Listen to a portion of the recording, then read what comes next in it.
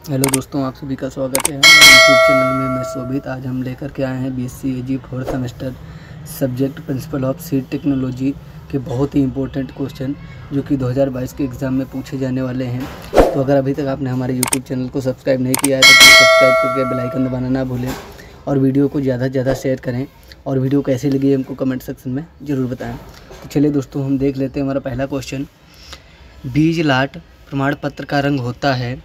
बीज लाट प्रमाण पत्र का रंग होता है तो इसका ऑप्शन नंबर एक है नारंगी, बी है हरा, सी है बैंगनी और डी है हमारा नारंगी आ रहा तो उसका ऑप्शन नंबर डी सही नारंगी या हरा। क्वेश्चन नंबर दूसरा हमारा है,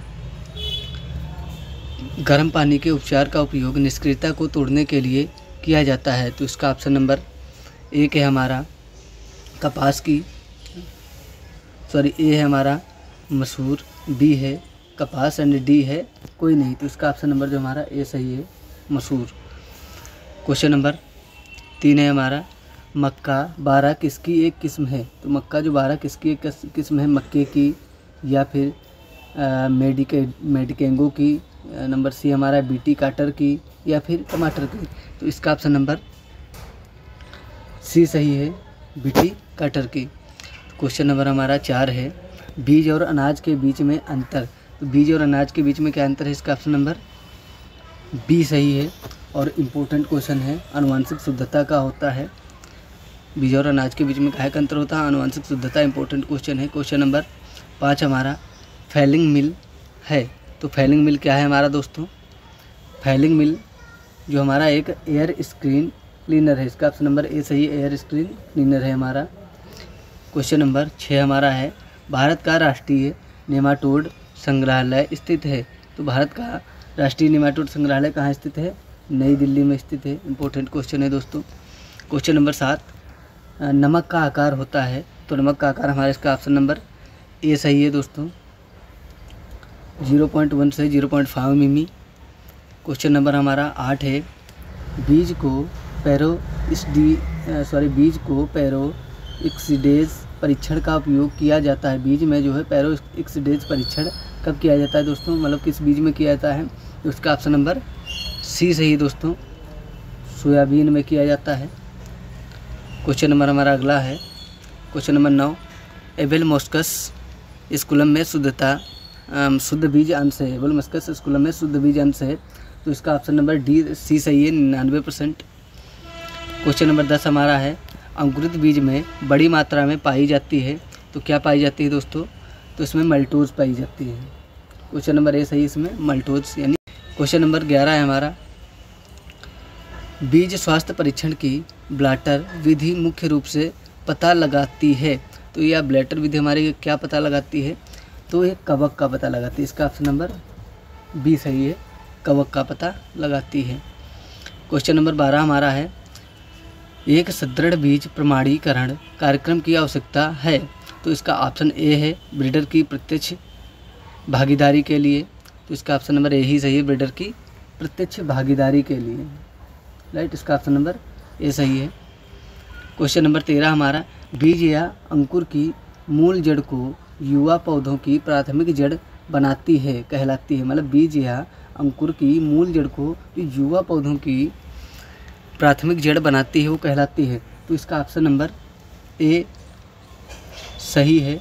रेचिस और रेडिकल इसका ए बी दोनों ही सही होंगे हमारे ऑप्शन ए और बी दोनों ऑप्शन सही rachis and radical right question number चौदह हमारा मक्के में परागण विधि है तो ये पर परागण के द्वारा होती है, इसका ऑप्शन नंबर सी सही है। क्वेश्चन नंबर पंद्रह हमारा है। बीज के जीवित उत्कों का टी टू परीक्षण रंग बदलता है। इंपॉर्टेंट क्वेश्चन है। बीज के जीवित उत्कों का टी टू परीक्षण रंग बदलता है तो इसका ऑप्शन नंबर ए सही है, लाल रंग। क्वेश्चन नंबर क्वेश्चन नंबर हमारा सोलह है। गेहूँ में बीज में, गेहूँ के बीज में सुरक्षित भंडारण के लिए अधिकतम नमी संग्रहित होनी चाहिए इंपॉर्टेंट क्वेश्चन है इसका ऑप्शन नंबर ए सही है, बारह परसेंट क्वेश्चन नंबर सत्रह है। वो है नाइट्रोजनेज की संरचना और कार्य का अध्ययन किया जा सकता है तो इसका ऑप्शन ए बी सी तीनों सही हैं।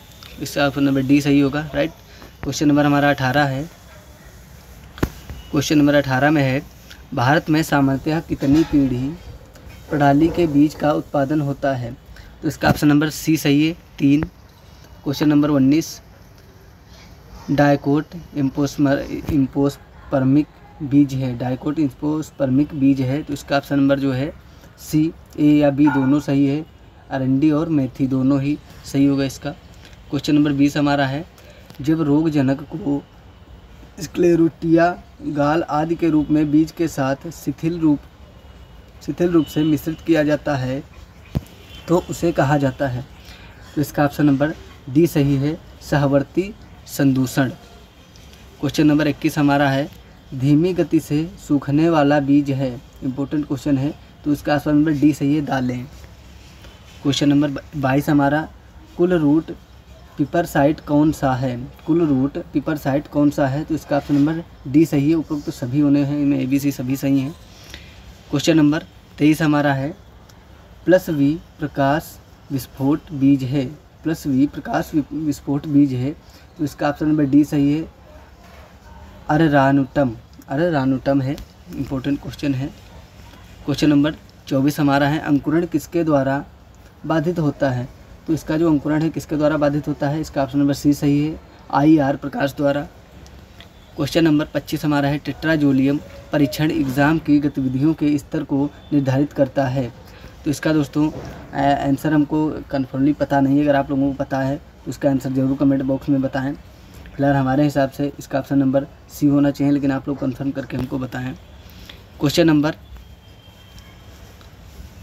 छब्बीस हमारा, पोटास का म्यूरेट है। तो इसका पोटास का मेरोट हमारा ऑप्शन नंबर बी सही है के होगा। पोटेशियम क्लोराइड क्वेश्चन नंबर सत्ताईस हमारा है। बीज रहित अंगूरों के उत्पादन की आवश्यकता होती है तो इसका ऑप्शन नंबर जो हमारा ए सही है। गिब्बरलिंस की गिब्बरलिंस की आवश्यकता होती है। इंपॉर्टेंट क्वेश्चन है, क्वेश्चन नंबर अट्ठाईस हमारा है। फूल गोभी के पुष्पम को किसके सॉरी, फूल गोभी के पुष्पम को कहते हैं तो क्या कहते हैं? इसका ऑप्शन नंबर सी सही है, दही। ठीक है, दही। क्वेश्चन नंबर उनतीस। पूसा स्नोबॉल किसकी किस्म है? तो पूसा जो स्नो स्नोबॉल है हमारी फूल गोभी की किस्म है। क्वेश्चन नंबर तीस। बिना निषेचन के भ्रूण का विकास होता है तो इसका ऑप्शन नंबर ए सही है। एपो मिक्सिस में एपो मिक्सिस में होता है इंपॉर्टेंट क्वेश्चन है। तो दोस्तों, वीडियो अच्छी लगी हो तो वीडियो को लाइक करें और भी ऐसे ही क्वेश्चन पाने के लिए हमारे चैनल को सब्सक्राइब करें। अगर अभी तक आपने हमारे, ये हमारा दूसरा पार्ट है, इसका अगर पहला पार्ट हमने नहीं देखा है तो उसका लिंक आपको डिस्क्रिप्शन बॉक्स में मिल जाएगा। ठीक है, आप वहाँ से जाके इसके पहले वाले पार्ट को भी देख सकते हैं। उसमें भी बहुत इंपॉर्टेंट क्वेश्चन बताए गए हैं। चलो दोस्तों, मिलते हैं अगले वीडियो में।